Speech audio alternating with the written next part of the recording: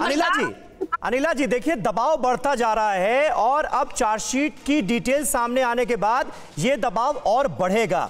क्या अजय मिश्र टेनी का इस्तीफा अगर नहीं हो रहा है तो इसके पीछे भी दबाव इसी ब्राह्मण वोट बैंक का है क्या?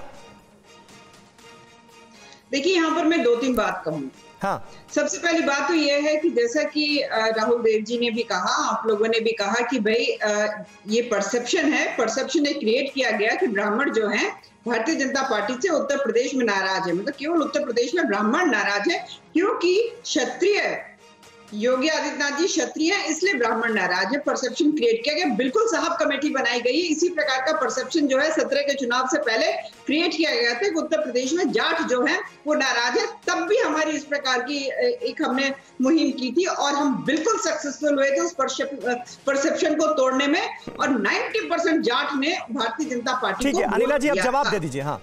सवाल हाँ नहीं नहीं अब मैं परसेप्शन की बात कर रही हूँ ब्राह्मणों हम्म। की बात कर रही हूँ साहब। हम्म। कि ब्राह्मणों के लिए जो परसेप्शन क्रिएट किया बिल्कुल हम कमेटी बनाएँगे बिल्कुल उस परसेप्शन को तोड़ेंगे। ब्राह्मण नहीं तो अजय मिश्र टेनी का इस्तीफा भी इसीलिए नहीं लिया जा रहा है क्योंकि ब्राह्मण वोट बैंक की नाराज़गी का खतरा है। ऐसा है क्या? समीर जी आपको पता नहीं मेरे भारतीय जनता पार्टी से कोई तकलीफ़ है क्या? बोले साहब। नहीं नहीं मुझे क्या तकलीफ़ होगी? मैं तो सवाल पूछ रहा हूँ सवाल का जवाब दे दीजिए ना। आपने सारी बातें कह दी मेरे सवाल का जवाब नहीं दिया। क्यों तू? अच्छा नहीं नहीं। पहले भारतीय जनता पार्टी के लिए कही गई मैं वो भी बोलूँगी।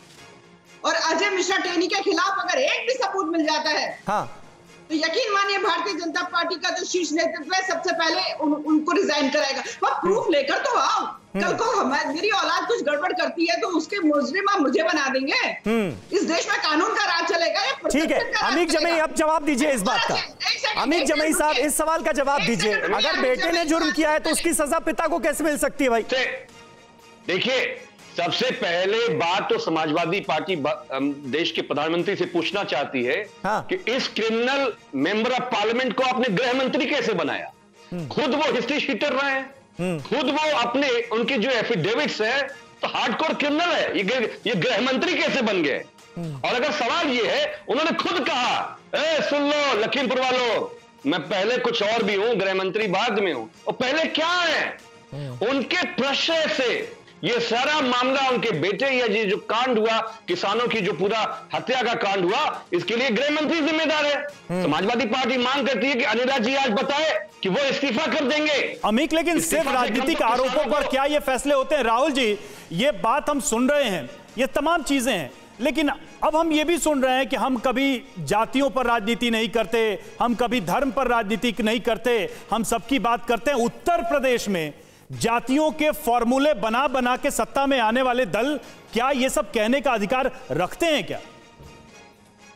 मैं समझता हूँ, ये जो नाटक चल रहा है, इतने सालों से, कई दशकों से कि जब हर पार्टी कहती है कि हम जाति की राजनीति नहीं करते, इससे बड़ा कोई झूठ नहीं है भारतीय राजनीति में। और कम से कम अब जब जनता सब कुछ जान गई है, ये झूठ बोलना बंद कर दिया जाए।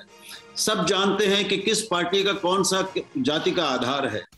बसपा का क्या है, सपा का क्या है, कांग्रेस का क्या रहा है, अब बचा नहीं, वो एक अलग बात है। और भाजपा का क्या है? तो ये झूठ अब बंद कर दें हम और ये देखें कि भाई अलग अलग जातियों के कुछ हिस्से इधर से उधर जा रहे हैं क्या? इस समय अलग अलग अलग क्षेत्रों में जातीय संरचना क्या बन रही है? जातीय समर्थन का आधार किस तरह से बदल रहा है? ये ये है सारे तथ्य जिन पर चुनाव लड़े जाते हैं, चुनाव जीते या हारे जाते हैं। हम्म। लेकिन ये झूठ तो अब बंद होना चाहिए ना क्योंकि इससे अब सुनकर ऊब होने लगी है चिड़ होने लगी हम्म। सपा ये कहे कि वो जाति की राजनीति नहीं करती को सुन रहे होंगे राजनीति करती इससे बड़ा मज़ाक क्या होगा? हम्म। राहुल राहुल जी बहुत ही विद्वान इंसान है उन्हें ये मालूम है कि क्षेत्रीय पार्टियों में विशेषकर समाजवादी लोग हमेशा से जब वो कांग्रेस के साथ भी थे जब जब जब जब कांग्रेस सोशलिस्ट पार्टी थी ये हमेशा जो पूरे देश का जो भी दबा कुचला तबका था उसका प्रतिनिधित्व किया ये कोई उसमें दबी छिप, छिपी बात नहीं है। लेकिन उसका नेतृत्व किसने किया? उसका नेतृत्व लोहिया जी ने किया जो बनिया थे। उसका उसका नेतृत्व जो है उसका नेतृत्व जो है हमेशा अपर कास्ट के जो न्यायप्रिय लोग थे उन्होंने समाजवादी आंदोलन को आगे बढ़ाया।